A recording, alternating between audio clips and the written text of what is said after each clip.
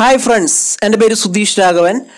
ഇന്ത്യയിലെ number one online learning പ്ലാറ്റ്ഫോമായിട്ടുള്ള അൺ അക്കാദമിയിൽ കേരള പി എസ് സിയുമായി ബന്ധപ്പെട്ട ക്ലാസ്സുകൾ എടുക്കുന്ന ഒരു വെരിഫൈഡ് എഡ്യൂക്കേറ്റർ ആണ്. ഈ പ്ലാറ്റ്ഫോമിൽ ഏകദേശം മുപ്പത്തിമൂന്നോളം കോഴ്സുകളും നാനൂറ്റി പത്തോളം ലെസൺസും ഞാൻ അപ്ലോഡ് ചെയ്തിട്ടുണ്ട്. അപ്പോൾ ഈ ക്ലാസ്സുകളെല്ലാം തന്നെ സൗജന്യമായിട്ട് നിങ്ങൾക്ക് കാണാനായിട്ട് സാധിക്കും. നിങ്ങൾക്ക് ഈ ക്ലാസ്സുകൾ ഇഷ്ടപ്പെടുകയാണെങ്കിൽ സുധീഷ് രാഘവൻ എന്ന പേരിലുള്ള ഈ പ്രൊഫൈൽ ഫോളോ ചെയ്യുക. അതുപോലെ തന്നെ ഓരോ കോഴ്സുകളും നിങ്ങൾക്ക് ഇഷ്ടപ്പെടുന്നുണ്ടെങ്കിൽ അത് സേവ് ചെയ്യുക റേറ്റ് ചെയ്യുക അതുപോലെ റിവ്യൂ ചെയ്യുക. നിങ്ങളുടെ വിലപ്പെട്ട നിർദ്ദേശങ്ങളും അഭിപ്രായങ്ങളും കമന്റ് ചെയ്യാനായിട്ട് മറക്കരുത്. നിങ്ങളുടെ എല്ലാവരുടെയും വിലപ്പെട്ട സപ്പോർട്ട് പ്രതീക്ഷിക്കുന്നു. താങ്ക് എല്ലാ കൂട്ടുകാർക്കും പി എസ് സി ത്രീ സിക്സ്റ്റിയിലേക്ക് സ്വാഗതം. നമ്മൾ ഈ ക്ലാസ്സിൽ പറയാൻ പോകുന്നത് രണ്ടായിരത്തി പതിനെട്ട് നവംബർ മാസത്തിലെ പ്രധാനപ്പെട്ട കറണ്ട് അഫയേഴ്സ് ആണ്. ഇമ്പോർട്ടന്റ് കറണ്ട് അഫയേഴ്സ് മാത്രം ഉൾപ്പെടുത്തിക്കൊണ്ടുള്ള ഒരു ക്ലാസ് ആണ്. ഇതിൽ ഏറ്റവും പ്രധാനപ്പെട്ട കാര്യങ്ങൾ മാത്രമേ ഡിസ്കസ് ചെയ്യുന്നുള്ളൂ. ഡീറ്റെയിൽ ആയിട്ടുള്ള കാര്യങ്ങൾക്ക് വേണ്ടി ഡെയിലി കറണ്ട് അഫയേഴ്സ് എന്നുള്ള ക്ലാസ്സുകൾ ശ്രദ്ധിക്കുക. ആദ്യം നമ്മൾ പറയാൻ പോകുന്നത് ഇന്റർനാഷണൽ ഡേയ്സ് അന്താരാഷ്ട്ര ദിനാചരണങ്ങളാണ് ഏറ്റവും പ്രധാനപ്പെട്ട അന്താരാഷ്ട്ര ദിനാചരണങ്ങൾ. November five world tsunami awareness day November അഞ്ചിന് ലോക സുനാമി ബോധവൽക്കരണ ദിനമായിട്ടാണ് ആചരിച്ചത്. November five world tsunami awareness day November ten world science day for peace and development അന്താരാഷ്ട്ര ശാസ്ത്ര ദിനമായിട്ട് ആചരിച്ചത് നവംബർ പത്തിനാണ്.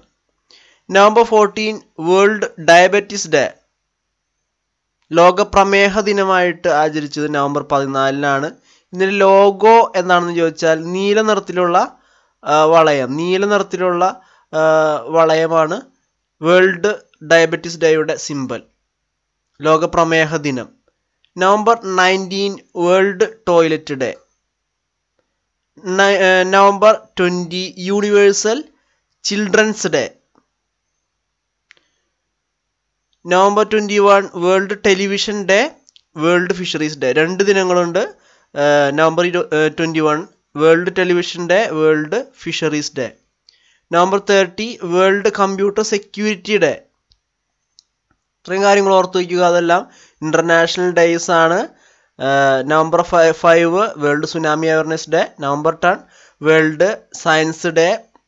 November fourteen world diabetes day. November nineteen world toilet day. November twenty universal children's day November twenty one world television day November thirty world computer security day ഇനി നമ്മൾ പറയാൻ പോകുന്നത് national days ആണ്. അതായത് ദേശീയ ദിനാചരണങ്ങൾ. ഇന്ത്യയിൽ മാത്രം ആചരിക്കുന്ന ദിനാചരണങ്ങൾ. November five national Ayurveda day ആയിട്ടാണ് ആചരിച്ചത്. ഇത് എല്ലാ വർഷവും നവംബർ അഞ്ചിന് അല്ല മാറി മാറി വരുന്നതാണ് ഈ ദിവസം. November five national Ayurveda day ദേശീയ ആയുർവേദ ദിനം. November seven national cancer day ദേശീയ ക്യാൻസർ ദിനമായിട്ട് ആചരിച്ചത് നവംബർ ഏഴിനാണ്. November eleven national education day വളരെ പ്രധാനപ്പെട്ട ഒരു ദിനാചരണമാണ്. മൗലാന അബുൽ കലാം ആസാദിന്റെ ജന്മദിനമാണ്. നവംബർ ലെവൻ അന്ന് ഇന്ത്യയിൽ ദേശീയ വിദ്യാഭ്യാസ ദിനമായിട്ട് ആചരിക്കുന്നു. November twelve public service broadcasting day Mahatma Gandhi all India radio സന്ദർശിച്ചതിന്റെ സ്മരണയ്ക്കായിട്ടാണ് എല്ലാ വർഷവും നവംബർ പന്ത്രണ്ടിന് പബ്ലിക് സർവീസ് ബ്രോഡ്കാസ്റ്റിംഗ് ഡേ ആയിട്ട് ആചരിക്കുന്നത്. November fourteen national children's day national children's day ആയിട്ട് ആചരിക്കുന്ന നവംബർ പതിനാലിനാണ് ദേശീയ ശിശുദിനം. നമ്മൾ നേരത്തെ പറഞ്ഞു ആഗോള ശിശുദിനം നവംബർ ട്വന്റീത്തിനാണെന്ന് പറഞ്ഞു.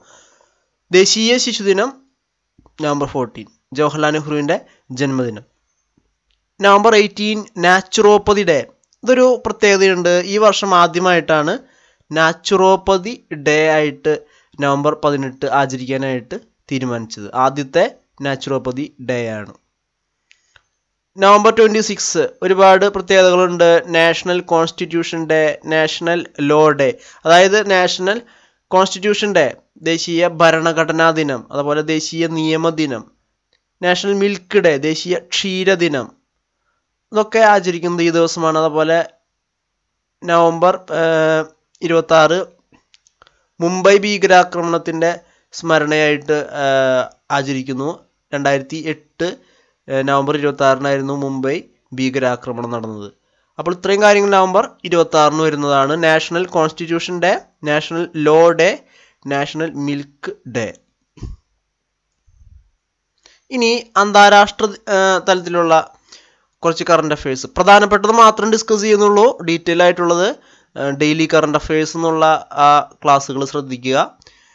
ലോകത്തിലെ ആദ്യ ആർട്ടിഫിഷ്യൽ ഇന്റലിജൻസ് വാർത്താ അവതാരകനെ അവതരിപ്പിച്ച രാജ്യം ചൈന. ലോകത്തിലെ ആദ്യത്തെ ആർട്ടിഫിഷ്യൽ ഇന്റലിജൻസ് വാർത്താ അവതാരകനെ അവതരിപ്പിച്ചത് ചൈനയാണ്. അടുത്തത് പവിഴപ്പുറ്റുകൾക്ക് ഭീഷണിയായ സൺസ്ക്രീൻ നിരോധിച്ച ആദ്യ രാജ്യം പലാവു. പവിഴപ്പുറ്റുകൾക്ക് ഭീഷണിയായ സൺസ്ക്രീൻ നിരോധിച്ച ആദ്യത്തെ രാജ്യമാണ് Palau. China builds an artificial sun that reaches temperatures six times that of sun സൂര്യനിലെ ആറിരട്ടി താപനിലയുള്ള കൃത്രിമ സൂര്യനെ നിർമ്മിച്ച രാജ്യം. ആർട്ടിഫിഷ്യൽ സണ്ണിനെ നിർമ്മിച്ചത് ചൈനയാണ്. ലോകത്തിൽ ആദ്യമായി മനുഷ്യന്റെ full body three D image scan ചെയ്തത് എക്സ്പ്ലോറർ മെഡിക്കൽ ഇമേജിംഗ് സ്കാനർ പുതിയൊരു കണ്ടുപിടുത്തമാണ് മനുഷ്യന്റെ പൂർണമായിട്ടും full body three D image ആയിട്ട് സ്കാൻ ചെയ്യാനായിട്ടുള്ള ഉപകരണമാണ് explorer medical imaging scanner the world's first underground hotel has open in which of the following cities Shanghai ചൈനയിലെ Shanghai നഗരത്തിലാണ് ലോകത്തിലെ ആദ്യത്തെ അണ്ടർഗ്രൗണ്ട് ഹോട്ടൽ ഭൂഗർഭ ഹോട്ടൽ നിലവിൽ വന്നത്. ചൈനയിലെ ഷാങ്ഹായ് നഗരത്തിലാണ്. ഇനി ശാസ്ത്ര സാങ്കേതിക രംഗത്തെ കാര്യങ്ങൾ നമുക്ക് നോക്കാം. സയൻസ് ആൻഡ് ടെക്നോളജി ചൊവ്വയുടെ ഉപരിതലത്തിൽ ഇറങ്ങിയ നാസയുടെ ദൗത്യം ഇൻസൈറ്റ് ഇൻസൈറ്റ് ആണ് ചൊവ്വയുടെ ഉപരിതലത്തിൽ ഇറങ്ങിയ നാസയുടെ ദൗത്യത്തിന്റെ പേര്. ഇതിന്റെ പ്രത്യേകത അഞ്ച് മീറ്ററോളം ആഴത്തിൽ ഡ്രിൽ ചെയ്ത് ചൊവ്വയുടെ ഘടന മനസ്സിലാക്കാനുള്ള ഉപകരണങ്ങൾ ഇൻസൈറ്റിലുണ്ട് ഐ എസ് ആർ വിക്ഷേപിച്ച ഇന്ത്യയുടെ hyper spectral imaging satellite HysIS. രണ്ടായിരത്തി പതിനെട്ട് നവംബർ ഇരുപത്തി ഒമ്പതിനാണ് ഹൈസിസ് എന്ന പേരിലുള്ള ഇന്ത്യയുടെ ആദ്യത്തെ ഹൈപ്പർ സ്പെക്ട്രൽ ഇമേജിംഗ് സാറ്റലൈറ്റ് വിക്ഷേപിച്ചത്. അതിന്റെ വിക്ഷേപണ വാഹനം P S L V C forty three ആണ്. പി എസ് എൽ വിയുടെ ഏറ്റവും ലേറ്റസ്റ്റ് ആയിട്ടുള്ള വിക്ഷേപണമാണ് P S L V C forty three ഇങ്ങനെയുള്ള ലേറ്റസ്റ്റ് ആയിട്ടുള്ള വിക്ഷേപണങ്ങൾ ചോദ്യം വരാറുണ്ട്. ഓർത്തു വയ്ക്കുക. അതിൽ മറ്റു രാജ്യങ്ങളുടെ ഉപഗ്രഹങ്ങളോടൊപ്പം തന്നെ ഹൈസിസ് എന്ന പേരിലുള്ള ഇന്ത്യയുടെ ഹൈപ്പർ സ്പെക്ട്രൽ ഇമേജിംഗ് സാറ്റലൈറ്റ് വിക്ഷേപിച്ചു. ദിവസം രണ്ടായിരത്തി പതിനെട്ട് നവംബർ ഇരുപത്തൊമ്പത് ഡേറ്റും നോക്കി വയ്ക്കുക. രണ്ടായിരത്തി പതിനെട്ട് നവംബർ ഇരുപത്തൊമ്പതിനാണ് വിക്ഷേപിച്ചത്. ഇനി ഇന്ത്യയിൽ നിന്നും വിക്ഷേപിച്ച ഏറ്റവും ഭാരം കൂടിയ ഉപഗ്രഹം ഏതാണെന്ന് ചോദിച്ചാൽ അത് ജി സാറ്റ് ട്വന്റി നയൻ ആണ്. ഇന്ത്യയിൽ നിന്നും വിക്ഷേപിച്ച ഏറ്റവും ഭാരം കൂടിയ ഉപഗ്രഹം. അത് രണ്ടായിരത്തി പതിനെട്ട് നവംബർ പതിനാലിനാണ് വിക്ഷേപിച്ചത്. G S L V mark three D two mark three D two എന്ന് പറയുന്ന ഏറ്റവും ഭാരം വഹിക്കാൻ ശേഷിയുള്ള ഇന്ത്യയുടെ റോക്കറ്റ്. അതാണ് G S L V mark three D two. അപ്പോൾ ആ റോക്കറ്റ് ഉപയോഗിച്ചിട്ടാണ് ഇന്ത്യ ഇന്ത്യയിൽ നിന്നും ഏറ്റവും ഭാരം കൂടിയ ജി സാറ്റ് ട്വന്റി നയൻ. ശ്രീഹരിക്കോട്ടയിൽ നിന്നും വിക്ഷേപിച്ചത്. കുട്ടികൾക്ക് വേണ്ടി പുറത്തിറക്കിയ ഇന്ത്യയിലെ ആദ്യത്തെ smart phone easy phone star. കുട്ടികൾക്ക് വേണ്ടി ഇന്ത്യയിൽ പുറത്തിറക്കിയ ആദ്യത്തെ സ്മാർട്ട് ഫോണിന്റെ പേരാണ് ഈസി ഫോൺ സ്റ്റാർ. പാലിലെ മായം ചേർക്കുന്നത് കണ്ടെത്താൻ സ്മാർട്ട് ഫോൺ അധിഷ്ഠിതമായ സെൻസർ സംവിധാനം വികസിപ്പിക്കുന്നത് ഐ ഐ ടി ഹൈദരാബാദ്. അടുത്തത് നാഷണൽ കറണ്ട് അഫയേഴ്സ് ആണ്. അത്യാധുനിക സംവിധാനങ്ങളോട് കൂടിയ മോബസ് സർവീസ് നിലവിൽ വന്ന നഗരം ഭുവനേശ്വർ ഒഡീഷയിലെ ഭുവനേശ്വറിലാണ് മോബസ് എന്ന പേരിലുള്ള അത്യാധുനിക സംവിധാനങ്ങളോട് കൂടിയ ബസ് സർവീസ് നിലവിൽ വന്നത്. സംസ്ഥാനത്തെ എല്ലാ government സ്കൂളുകളുടെയും personal location system G P S mapping വഴി നടപ്പിലാക്കുന്ന സംസ്ഥാനം. നാഗാലാൻഡ് സംസ്ഥാനത്തെ നാഗാലാൻഡ് സംസ്ഥാനത്തിലെ എല്ലാ government സ്കൂളുകളുടെയും personal location system G P S mapping വഴി നടപ്പിലാക്കുന്ന സംസ്ഥാനമാണ് നാഗാലാൻഡ്. അടുത്തിടെ ഔദ്യോഗിക മുദ്ര പുറത്തിറക്കിയ സംസ്ഥാനമാണ് ആന്ധ്രാപ്രദേശ്. അടുത്തിടെ ഔദ്യോഗിക മുദ്ര പുറത്തിറക്കിയത് ആന്ധ്രാപ്രദേശിലാണ്. പ്രകൃതിവാതകം പൈപ്പിലൂടെ വീടുകളിൽ എത്തിക്കുന്ന കേന്ദ്ര സർക്കാരിന്റെ പദ്ധതിയാണ് city gas distribution project. City gas distribution project ആണ് പ്രകൃതിവാതകം പൈപ്പിലൂടെ വീടുകളിൽ എത്തിക്കുന്ന കേന്ദ്ര സർക്കാരിന്റെ പദ്ധതി. അടുത്തത് ഇന്ത്യയുടെ രണ്ടായിരത്തി പത്തൊമ്പതിലെ റിപ്പബ്ലിക് ദിന പരേഡിലെ മുഖ്യ അതിഥി സിറിൽ രാം രാമഫോസ. സിറിൽ രാമഫോസയാണ് രണ്ടായിരത്തി പത്തൊമ്പത് റിപ്പബ്ലിക് ദിന പരേഡിലെ മുഖ്യ അതിഥി. സൗത്ത് ആഫ്രിക്കൻ പ്രസിഡന്റാണ് അദ്ദേഹം. ഓരോ വർഷവും ഓരോ രാജ്യത്തിലെ തലവന്മാർ മുഖ്യ അതിഥികളായിട്ട് ക്ഷണിക്കാറുണ്ട്. കഴിഞ്ഞ വർഷം ആസിയാൻ രാജ്യങ്ങളുടെ തലവന്മാരായിരുന്നു. ഇത്തവണ സൗത്ത് ആഫ്രിക്കൻ പ്രസിഡന്റായിട്ടുള്ള സിറിൽ രാമഫോസയാണ്. ഇന്ത്യയിൽ ആദ്യമായി ബട്ടണോട് കൂടിയ ഇന്ററാക്റ്റീവ് ക്രെഡിറ്റ് കാർഡ് അവതരിപ്പിച്ച ബാങ്ക് ഇൻഡസ് ഇൻഡ് ബാങ്ക്. ഇന്ത്യയിൽ ആദ്യമായി ബട്ടണോട് കൂടിയ ഇന്ററാക്റ്റീവ് ക്രെഡിറ്റ് കാർഡ് അവതരിപ്പിച്ചത് ഇൻഡസ് ഇൻഡ് ബാങ്ക് ആണ് name the India's first robotic telescope ഇന്ത്യയുടെ ആദ്യത്തെ റോബോട്ടിക് ടെലിസ്കോപ്പ് ഏതാണെന്ന് ചോദിച്ചാൽ ഗ്രോത്ത് ഇന്ത്യ എന്നാണ് അതിന്റെ പേര്. ഗ്രോത്ത് ഇന്ത്യ ഇന്ത്യയുടെ ആദ്യത്തെ റോബോട്ടിക് ടെലിസ്കോപ്പ് ഇന്ത്യയിലെ രണ്ടാമത്തെ വലിയ ബുദ്ധപ്രതിമ അടുത്തിടെ അനാവരണം ചെയ്ത സംസ്ഥാനം ബീഹാറാണ്. ബീഹാറിലെ നളന്ദ ജില്ലയിലെ രാജ്ഗിറിലാണ് ഇന്ത്യയിലെ രണ്ടാമത്തെ വലിയ ബുദ്ധപ്രതിമ അനാവരണം ചെയ്തത്. ഉയരം എഴുപത് അടി. എഴുപത് ഫീറ്റ് ആണ് അതിന്റെ ഉയരം.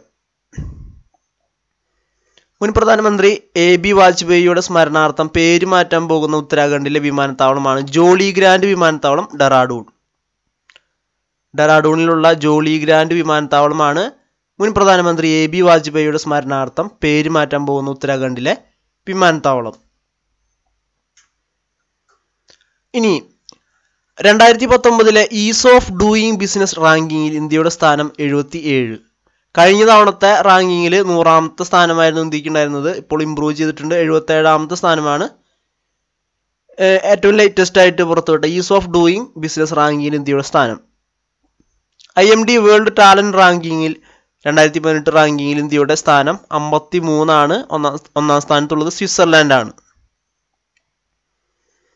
I M D world talent ranking two thousand eighteen fifty three Sashastra Seema Bal S S ബിയുടെ നേതൃത്വത്തിൽ സുരക്ഷ ലഭ്യമാക്കുന്ന ടൈഗർ റിസർവ് ആണ് ദൂതുവ ടൈഗർ റിസർവ്. ഉത്തർപ്രദേശിലെ ദൂതുവ ടൈഗർ റിസർവ് ആണ് സശസ്ത്ര സീമാബൽ അഥവാ എസ് എസ് ബിയുടെ നേതൃത്വത്തിൽ സുരക്ഷ ലഭ്യമാക്കുന്ന ടൈഗർ റിസർവ്.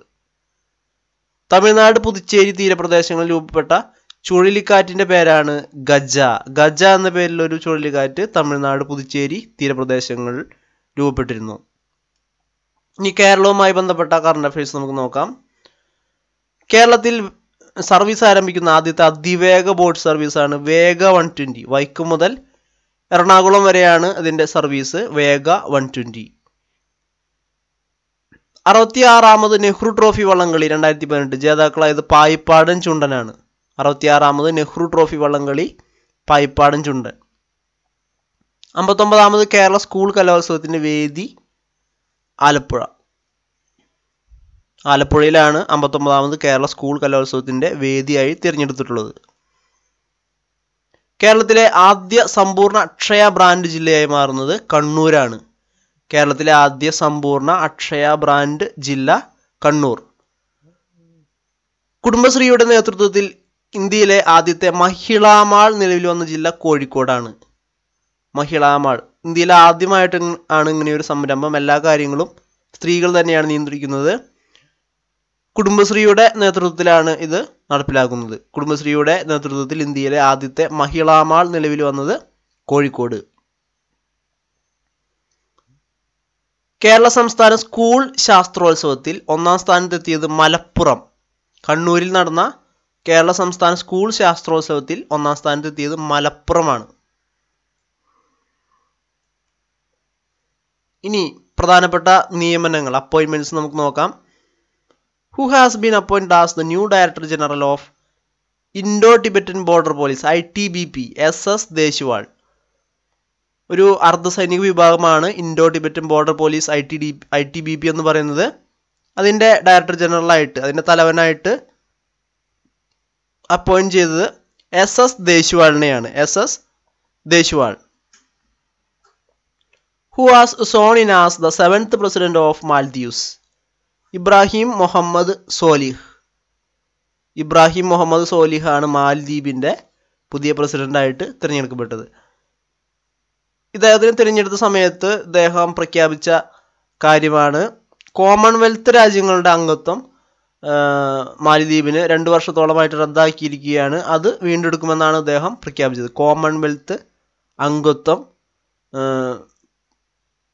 വീണ്ടെടുക്കാനായിട്ട് തീരുമാനിച്ചത് ഇബ്രാഹിം മുഹമ്മദ് സോലിഹാണ്. അദ്ദേഹം മാലിദ്വീപിന്റെ പുതിയ പ്രസിഡന്റാണ് യൂണിസെഫിന്റെ ഏറ്റവും പ്രായം കുറഞ്ഞ ഗുഡ്വിൽ അംബാസിഡറായി നിയമിതയായത് മിലി ബോബി ബ്രൗൺ. യൂണിസെഫിന്റെ ഏറ്റവും പ്രായം കുറഞ്ഞ ഗുഡ്വിൽ അംബാസിഡറായി നിയമിതയായത് മിലി ബോബി ബ്രൗൺ ആണ് അന്താരാഷ്ട്ര പോലീസ് ഏജൻസിയായ ഇന്റർപോളിന്റെ തലവനായി അടുത്തിടെ തിരഞ്ഞെടുക്കപ്പെട്ടത് കിങ് ജോങ് യാങ് ദക്ഷിണ കൊറിയയിൽ നിന്നുള്ള കിങ് ജോങ് യാങ് ആണ് അന്താരാഷ്ട്ര പോലീസ് ഏജൻസിയായ ഇന്റർപോളിന്റെ തലവനായി അടുത്തിടെ തിരഞ്ഞെടുക്കപ്പെട്ടത് ഇന്ത്യയുടെ മുഖ്യ തിരഞ്ഞെടുപ്പ് കമ്മീഷണറായി നിയമിതനായത് സുനിൽ അറോറ. ഇരുപത്തിമൂന്നാമത്തെ മുഖ്യ തിരഞ്ഞെടുപ്പ് കമ്മീഷണറായിട്ടാണ് സുനിൽ അറോറ നിയമിതനായത്. പുതിയ മുഖ്യ തിരഞ്ഞെടുപ്പ് commissioner. Union public service commission U P S C ചെയർമാനായി അടുത്തിടെ ചുമതലയേറ്റത് അരവിന്ദ് സക്സേന. ഇദ്ദേഹം ജൂൺ മുതൽ രണ്ടായിരത്തി പതിനെട്ട് ജൂൺ മുതൽ താൽക്കാലിക ചെയർമാനായിരുന്നു. യു പി എസ് സിയുടെ താൽക്കാലിക ചെയർമാനായിരുന്നു. ഇപ്പോൾ സ്ഥിരപ്പെടുത്തിയിരിക്കുകയാണ് Arvind Saxena. U I D I D I CEO Ajay Bhushan Pandey to replace Hasmukh Adhia as revenue secretary. ഇന്ത്യയുടെ പുതിയ റവന്യൂ സെക്രട്ടറി ആയിട്ട് നിയമിതനായത് അജയ് ഭൂഷൺ പാണ്ഡെ. അദ്ദേഹം യു ഐ ഡി എയുടെ മുൻ സിഇഒ ആയിരുന്നു. അജയ് ഭൂഷൺ പാണ്ഡെ പുതിയ റവന്യൂ സെക്രട്ടറി. ഹസ്മുഖാദിയായിരുന്നു ഇതിനു മുമ്പ് ഈ സ്ഥാനം വഹിച്ചിരുന്നത്. പിന്നെ ശ്രദ്ധിക്കേണ്ട കാര്യം ഫിനാൻസ് സെക്രട്ടറിയും മാറിയിട്ടുണ്ട്. ഡിസംബർ മാസത്തിലെ കറണ്ട് അഫയേഴ്സിൽ നമ്മൾ പറഞ്ഞിട്ടുണ്ട്. അത് അജയ് നാരായൺ ഝായാണ് അത് ധനകാര്യ സെക്രട്ടറി കേന്ദ്ര ധനകാര്യ സെക്രട്ടറി ഇവിടെ റവന്യൂ സെക്രട്ടറി എന്നാണ് പറയുന്നത് അജയ് ഭൂഷൺ പാണ്ഡെ. കേരളത്തിലെ പുതിയ ജലവിഭവ വകുപ്പ് മന്ത്രി കെ കൃഷ്ണൻകുട്ടി. അദ്ദേഹം ചിറ്റൂർ എം എൽ എ ആണ് പുതിയ ജലവിഭവ വകുപ്പ് മന്ത്രി കേരളത്തിലെ പുതിയ ജലവിഭവ വിഭവ വകുപ്പ് മന്ത്രി K Krishnankutty. National skill development കോർപ്പറേഷന്റെ പുതിയ chairman A M Naik. National skill development കോർപ്പറേഷന്റെ പുതിയ ചെയർമാനായി തിരഞ്ഞെടുക്കപ്പെട്ടത് എ എം നായക്. ഇനി പ്രധാനപ്പെട്ട അവാർഡുകൾ നമുക്ക് നോക്കാം. രണ്ടായിരത്തി പതിനെട്ടിലെ എഴുത്തച്ഛൻ പുരസ്കാരത്തിന് അർഹനായത് എം മുകുന്ദൻ. രണ്ടായിരത്തി പതിനെട്ടിലെ എഴുത്തച്ഛൻ പുരസ്കാരം എം മുകുന്ദനാണ് ലഭിച്ചത്. ഏറ്റവും കൂടുതൽ പുരസ്കാര തുകയുള്ളത് എഴുത്തച്ഛൻ പുരസ്കാരത്തിനാണ്. അഞ്ച് ലക്ഷം രൂപയാണ് പുരസ്കാര തുക. ഇത് സംസ്ഥാന ഗവൺമെന്റ് ആണ് നൽകുന്നത്. കേരളത്തിലെ ഏറ്റവും ഉയർന്ന സമ്മാന തുകയുള്ള സാഹിത്യ പുരസ്കാരമാണ് എഴുത്തച്ഛൻ പുരസ്കാരം. രണ്ടായിരത്തി പതിനേഴ് മുതലാണ് ഇത് അഞ്ച് ലക്ഷം രൂപയായിട്ട് ഉയർത്തിയത്. രണ്ടായിരത്തി പതിനേഴിൽ ലഭിച്ചത് സച്ചിദാനന്ദനാണ്. സച്ചിദാനന്ദനാണ് രണ്ടായിരത്തി പതിനെട്ട് പതിനേഴിലെ എഴുത്തച്ഛൻ പുരസ്കാരം ലഭിച്ചത്. ഇത് ഏറ്റവും ലേറ്റസ്റ്റ് ആയിട്ടുള്ളത് രണ്ടായിരത്തി പതിനെട്ടിലെ എം മുകുന്ദൻ. രണ്ടായിരത്തി പതിനെട്ടിലെ ആശാൻ സ്മാരക കവിതാ പുരസ്കാരത്തിന് അർഹനായത് ദേശമംഗലം രാമകൃഷ്ണൻ. ആശാൻ സ്മാരക കവിതാ പുരസ്കാരത്തിന് അർഹനായത് ദേശമംഗലം രാമകൃഷ്ണനാണ്. വ്യോമയാന മന്ത്രാലയത്തിന്റെ ചാമ്പ്യൻ അവാർഡ് നേടിയ എയർപോർട്ട് ചെന്നൈ എയർപോർട്ട്. കേന്ദ്ര വ്യോമയാന മന്ത്രാലയത്തിന്റെ ചാമ്പ്യൻ അവാർഡ് നേടിയത് Chennai എയർപോർട്ടാണ്. Indira Gandhi prize for peace disarmament and development two thousand eighteen ലഭിച്ച സംഘടന. Centre for science and environment C S C New Delhi. New Delhi ആസ്ഥാനമായിട്ടുള്ള centre for science and environment എന്ന സ്ഥാപനത്തിനാണ് രണ്ടായിരത്തി പതിനെട്ടിലെ Indira Gandhi prize for peace disarmament and development award ലഭിച്ചത്. ഇനി പറയാനുള്ളത് വളരെ പ്രധാനപ്പെട്ട forty ninth international film festival of India ഗോവയിലെ പനാജിയിലാണ് നടന്നത്. ഇതിൽ പ്രധാനപ്പെട്ട മികച്ച നടനും മികച്ച നടിക്കുമുള്ള അവാർഡുകളാണ് പറയുന്നത്. ഏറ്റവും പ്രധാനപ്പെട്ടതാണ് പറയുന്നത് മികച്ച ചിത്രം സുവർണ മയൂരം ഗോൾഡൻ പീകോക്ക് എന്ന് പറയും. ഗോൾഡൻ പീകോക്ക് അവാർഡ് ലഭിച്ചത് ഡോൺബാസ് ഉക്രൈനിൽ നിന്നുള്ള ഡോൺബാസ് എന്ന ചിത്രത്തിനാണ് അതിന്റെ സംവിധാനം. സെർജി ലോസ് നിറ്റ്സ സെർജി ലോസ് നിറ്റ്സ സംവിധാനം ചെയ്ത ഉക്രൈൻ ചിത്രമായിട്ടുള്ള ഡോൺബാസിലാണ് ഗോൾഡൻ പീകോക്ക് അവാർഡ് അഥവാ സുവർണ മയൂരം അവാർഡ് ലഭിച്ചത്. മികച്ച ചിത്രത്തിനുള്ള. ഏറ്റവും ടോപ്പ് അവാർഡ് ഇന്റർനാഷണൽ ഫിലിം ഫെസ്റ്റിവലിലെ സുവർണ മയൂരമാണ് അത് ലഭിച്ചത് ഡോൺ ബാസ്. ഇനി മികച്ച സംവിധായകനുള്ള രജത മയൂരം അഥവാ സിൽവർ പീകോക്ക് അവാർഡ് ലഭിച്ചത് ലിജോ ജോസ് പല്ലിശ്ശേരി. മലയാളം സംവിധായകനായിട്ടുള്ള ലിജോ ജോസ് പല്ലിശ്ശേരി. ചലച്ചിത്രം ഇ മാ യൗ. ആ ചലച്ചിത്രത്തിന്റെ സംവിധാനത്തിന് ലിജോ ജോസ് പെല്ലിശ്ശേരിക്കാണ് ഈ അവാർഡ് ലഭിച്ചത്. അതുപോലെ തന്നെ മറ്റൊരു മലയാളം നടൻ നടനും ഇതേ ചിത്രത്തിന് അവാർഡ് ലഭിച്ചിട്ടുണ്ട്. മികച്ച നടനുള്ള രജത മയൂരം അവാർഡ് ബെസ്റ്റ് ആക്ടറിനുള്ള രജത മയൂരം സിൽവർ പീകോക്ക് അവാർഡ് ലഭിച്ചു ചെമ്പൻ വിനോദാണ് മലയാളം സിനിമാ നടനാണ് അദ്ദേഹം. ഈമയ്യോ എന്ന ചലച്ചിത്രത്തിൽ അദ്ദേഹത്തിന്റെ അഭിനയത്തിനാണ് രജത മയൂര മികച്ച നടനുള്ള രജത മയൂര അവാർഡ് ലഭിച്ചത്. ഇനി മികച്ച നടിക്കുള്ള രജത മയൂര അവാർഡ് ലഭിച്ചത് അനസ്താസിയ പുഡ്സ്റ്റോവോട്ട്. അനസ്താസിയ പുഡ്സ്റ്റോവോട്ടിനാണ് മികച്ച നടിക്കുള്ള രജത മയൂര അവാർഡ് ലഭിച്ചത്. അതിന്റെ ചലച്ചിത്രം when the tree fall when the tree fall എന്ന ചലച്ചിത്രത്തിനാണ് അനസ് അനസ്താസിയ പുഡ്സ്റ്റോവോട്ടിന് മികച്ച നടിക്കുള്ള രാജ്യതമായി വരും സിൽവർ പീക്കോക്ക് അവാർഡ് ലഭിച്ചത്. ഏറ്റവും പ്രധാനപ്പെട്ട അവാർഡുകളാണ് അവാർഡുകളാണ് ഇപ്പോൾ പറഞ്ഞത്. പിന്നെയും അവാർഡുകൾ പറഞ്ഞിട്ടുണ്ട്. അത് നമ്മൾ ഡെയിലി കറണ്ട് അഫയേഴ്സിൽ ഡിസ്കസ് ചെയ്തതാണ്. ഇനി സ്പോർട്സുമായി ബന്ധപ്പെട്ട കാര്യങ്ങൾ നമുക്ക് നോക്കാം. Australia clinch women's world twenty twenty title women's world twenty twenty title ജേതാക്കളായത് Australia. Women's world twenty twenty title twenty ട്വന്റിയിൽ വനിതാ വിഭാഗം ട്വന്റി ട്വന്റിയിൽ ഓസ്ട്രേലിയയാണ് ജേതാക്കളായത്. റണ്ണറപ്പായത് ഇംഗ്ലണ്ട്. ഇനി അന്താരാഷ്ട്ര ട്വന്റി ട്വന്റി ക്രിക്കറ്റ് മത്സരത്തിൽ ഇന്ത്യക്കായി സെഞ്ചുറി നേടിയ ആദ്യ വനിതാ താരം ഹർമൻ പ്രീത് കൗർ. അന്താരാഷ്ട്ര ട്വന്റി ട്വന്റി ക്രിക്കറ്റ് മത്സരത്തിൽ ഇന്ത്യക്കായിട്ട് സെഞ്ചുറി നേടിയ ആദ്യ വനിതാ താരമാണ് ഹർമൻ പ്രീത് കൗർ. അടുത്തത് ലോക ജൂനിയർ ബാഡ്മിന്റൺ ചാമ്പ്യൻഷിപ്പിൽ വെങ്കലം നേടിയത് ലക്ഷ്യാസനാണ്. ഇന്ത്യയിൽ നിന്നുള്ള ലക്ഷ്യാസനിനാണ് ലോക ബാഡ്മിന്റൺ ലോക ജൂനിയർ ബാഡ്മിന്റൺ ചാമ്പ്യൻഷിപ്പിൽ വെങ്കലം ലഭിച്ചത്. അടുത്തത് അമ്പത്തി ഒമ്പതാമത് സുബ്രതോ കപ്പ് ഫുട്ബോൾ വിജയികൾ. ജൂനിയർ ബോയ്സ് വിഭാഗത്തിൽ Bangladesh Krira Shiksha Pratidan B K S P എന്ന് പറയുന്ന ടീമിനാണ് അമ്പത്തൊമ്പതാമത് സുബ്രതോ കപ്പ് ഫുട്ബോൾ കിരീടം ലഭിച്ചത് ജൂനിയർ ബോയ്സ് വിഭാഗത്തിൽ hockey world cup two thousand eighteen inaugurated in Bhubaneswar Odisha ഒഡീഷയിലെ ഭുവനേശ്വർ ആണ് രണ്ടായിരത്തി പതിനെട്ടിലെ ഹോക്കി വേൾഡ് കപ്പിന് വേദിയായിട്ടുള്ളത്. ഇതിലെ പ്രധാനപ്പെട്ട മറ്റൊരു കാര്യം ഇതിന്റെ മാസ്കട്ട് എന്താണെന്ന് ചോദിച്ചാൽ ഒലി എന്ന പേരിലുള്ള ഒരു ആമയാണ് ഇതിന്റെ ഭാഗ്യചിഹ്നം. ഒലി റിഡ്ലി ഇനത്തിൽപ്പെട്ട വംശനാശം നേരിടുന്ന ഒരു കടലാമയാണ് അതാണ് ഒലി എന്ന പേരിൽ ഇതിന്റെ മാസ്കട്ടായിട്ട് തിരഞ്ഞെടുത്തിട്ടുള്ളത് ഭാഗ്യചിഹ്നം. ഭുവനേശ്വറിലാണ് ഇത് നടക്കുന്നത്. ഇതിന്റെ പ്രധാന വേദി കലിംഗ സ്റ്റേഡിയം ഭുവനേശ്വർ ഒഡീഷയിലെ ഭുവനേശ്വർ. അടുത്ത പ്രധാനപ്പെട്ട കാര്യം രണ്ടായിരത്തി പതിനെട്ടിലെ ഡേവിസ് കപ്പ് ജേതാക്കളായത് ക്രൊയേഷ്യ. രണ്ടായിരത്തി പതിനെട്ടിലെ ഡേവിസ് കപ്പ് ജേതാക്കൾ ക്രൊയേഷ്യ. രണ്ടായിരത്തി പതിനെട്ടിലെ വനിതാ ചാമ്പ്യൻസ് ട്രോഫി ഹോക്കി ജേതാക്കളായത് നെതർലാൻഡ്സ് ആണ്. ഇത് രണ്ടും വളരെ ഇമ്പോർട്ടന്റ് ആണ്. ചോദിക്കാൻ സാധ്യത കൂടിയതാണ്. രണ്ടായിരത്തി പതിനെട്ടിലെ വനിതാ champions trophy hockey ജേതാക്കളായത് Netherlands. World chess championship two thousand eighteen. കിരീടം നേടിയത് മാഗ്നസ് കാൾസൺ ആണ് നോർവേയുടെ മാഗ്നസ് കാൾസൺ. കഴിഞ്ഞ തവണയും അദ്ദേഹം തന്നെയായിരുന്നു വേൾഡ് ചെസ് ചാമ്പ്യൻഷിപ്പ് ചാമ്പ്യൻ ആയിരുന്നത് അപ്പോൾ അത് അദ്ദേഹം കിരീടം നിലനിർത്തി. രണ്ടായിരത്തി പതിനെട്ടിലും മാഗ്നസ് കാൾസൺ തന്നെ നോർവേയുടെ മാഗ്നസ് കാൾസൺ. ഇനി പ്രധാനപ്പെട്ട വേദികളാണ് പറയാൻ പോകുന്നത്. മുപ്പത്തിമൂന്നാമത് ആസിയാൻ സമ്മേളനത്തിന് വേദിയായത് സിംഗപ്പൂരാണ്. ആസിയാൻ സമ്മേളനം മുപ്പത്തിമൂന്നാമത് സമ്മേളനമാണ് വേദിയായത് സിംഗപ്പൂര്. അടുത്ത പ്രധാനപ്പെട്ട കാര്യം രണ്ടായിരത്തി പതിനെട്ടിലെ G twenty summit G twenty ഉച്ചകോടിക്ക് വേദിയായത് ബ്യൂണസ് അയേഴ്സ് അർജന്റീനയിലെ ബ്യൂണസ് അയേഴ്സ് ആണ് വേദിയായത്. പ്രധാനമന്ത്രിയായിരുന്നു ഇതിൽ പങ്കെടുത്തത്. രണ്ടായിരത്തി പതിനെട്ടിലെ ജി ട്വന്റി സമ്മിറ്റ് വേദി Buenos Aires Argentina. Which city is the venue of the two thousand eighteen women's world boxing championship women's world boxing ചാമ്പ്യൻഷിപ്പിന് വേദിയായത് ന്യൂഡൽഹിയാണ് ഈ ഈ മത്സരത്തിലാണ് മേരി കോമിന് ആറാമത്തെ സ്വർണം ലഭിച്ചത്. മേരി കോമിന് ആറാമത്തെ ഗോൾഡ് ലഭിച്ചത് ബോക്സിംഗ് വിഭാഗത്തിൽ ബോക്സിംഗ് ചാമ്പ്യൻഷിപ്പിൽ അപ്പോൾ അത് നടന്നത് ന്യൂഡൽഹിയിൽ വെച്ചായിരുന്നു. വേദി ന്യൂഡൽഹിയിലായിരുന്നു ഏറ്റവും കൂടുതൽ ഗോൾഡ് വേൾഡ് ബോക്സിംഗിൽ ഏറ്റവും കൂടുതൽ ഗോൾഡ് ലഭിച്ചത് മേരി കോമിനാണ്. ആറ് സ്വർണമാണ് ലഭിച്ചിട്ടുള്ളത്. The Asia Pacific economic operation APEC summit two thousand eighteen held in Papua New Guinea Papua ന്യൂഗിനിയയിലാണ് Asia Pacific economic cooperation APEC എന്ന സംഘടനയുടെ ഉച്ചകോടി നടന്നത്. രണ്ടായിരത്തി പതിനെട്ടിലെ ഉച്ചകോടി നടന്നത് സമ്മിറ്റ് നടന്നത്.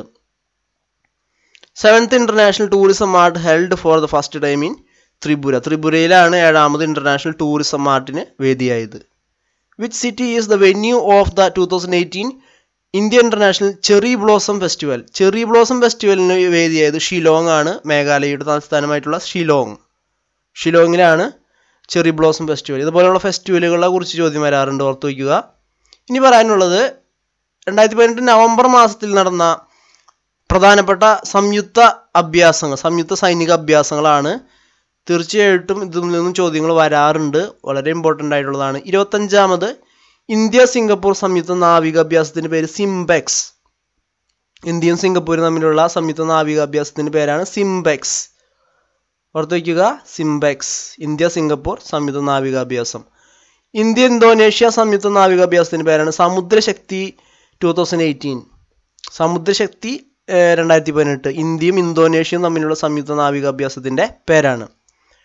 ഇന്ത്യയും റഷ്യയും തമ്മിലുള്ള സംയുക്ത സൈനികാഭ്യാസത്തിന്റെ പേരാണ് Indra two thousand eighteen Indra രണ്ടായിരത്തി പതിനെട്ട് എന്ന പേരിൽ അറിയപ്പെടുന്ന ഇന്ത്യയും റഷ്യയും തമ്മിലുള്ള സംയുക്ത സൈനികാഭ്യാസമാണ് ഇന്ദ്ര ടു തൗസൻഡ് എയ്റ്റീൻ ഇന്ത്യയും യു എസും തമ്മിലുള്ള സംയുക്ത സൈനികാഭ്യാസമാണ് Vajra Prahar two thousand eighteen Vajra Prahar two thousand eighteen എന്നുള്ളത് ഇന്ത്യയും അമേരിക്കയും തമ്മിൽ ഇന്ത്യയും യു എസും തമ്മിലുള്ള സംയുക്ത സൈനിക അഭ്യാസത്തിന്റെ പേരാണ്.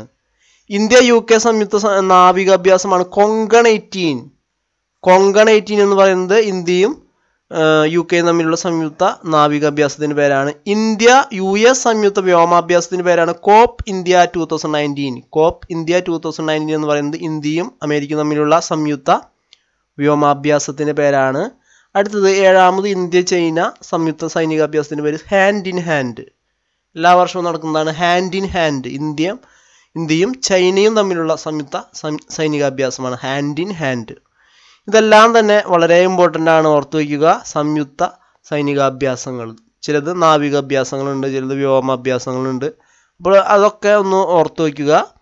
India Singapore SIMBEX India Indonesia Samudra Shakti India Russia Indra India U S സൈനികാഭ്യാസം Vajraprahar India U S സംയുക്ത വ്യോമാഭ്യാസം Cope India two thousand nineteen India U K സംയുക്ത നാവികാഭ്യാസം കൊങ്കൺ എയ്റ്റീൻ ഇന്ത്യ ചൈന സംയുക്ത സൈനികാഭ്യാസം ഹാൻഡ് ഇൻ ഹാൻഡ് ഇത്രയും കാര്യങ്ങൾ ഓർത്തു വയ്ക്കുക.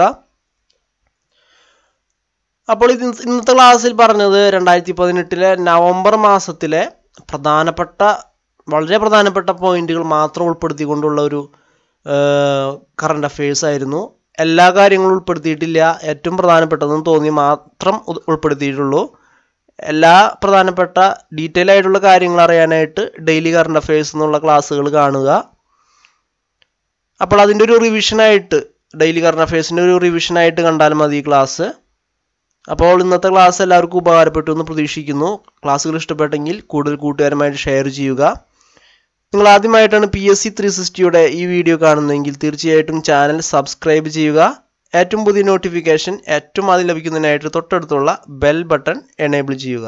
എങ്കിൽ മാത്രമേ ഞാൻ അപ്ലോഡ് ചെയ്യുന്ന ക്ലാസ്സുകൾ നിങ്ങൾക്ക് നോട്ടിഫിക്കേഷനായിട്ട് ലഭിക്കുകയുള്ളൂ. അതുപോലെ അണക്കാദമിയിൽ ആണ് ഏറ്റവും കൂടുതൽ ക്ലാസ്സുകളും ഞാൻ അപ്ലോഡ് ചെയ്യുന്നത്. അണക്കാദമിയിൽ സുധീഷ് രാഘവൻ എന്ന പേരിലുള്ള പ്രൊഫൈൽ ഫോളോ ചെയ്യുക. അതുപോലെ ഓരോ കോഴ്സും റേറ്റ് ചെയ്യാനും റിവ്യൂ ചെയ്യാനും മറക്കരുത്. നിങ്ങളുടെ വിലപ്പെട്ട നിർദ്ദേശങ്ങളും അഭിപ്രായങ്ങളും കമന്റ് ചെയ്യണം. പി എസ് സി ത്രീ സിക്സ്റ്റിയുടെ കമ്മ്യൂണിറ്റിയിൽ അംഗമാകുവാനായിട്ട് വാട്സപ്പ് ഗ്രൂപ്പിലാണെങ്കിൽ അതിന്റെ നമ്പർ ഇവിടെ താഴെ നൽകിയിട്ടുണ്ട്. ആ നമ്പറിലേക്ക് ജോയിൻ എന്ന് മെസ്സേജ് അയയ്ക്കുക. ടെലിഗ്രാം ചാനലിൽ അംഗമാകാനായിട്ട് താഴെ ഡിസ്ക്രിപ്ഷൻ ബോക്സിൽ കൊടുത്തിട്ടുള്ള ലിങ്കിൽ ക്ലിക്ക് ചെയ്ത് ജോയിൻ ചെയ്യുക. അതുപോലെ ഫേസ്ബുക്ക് പേജും ലൈക്ക് ചെയ്യുക. താങ്ക്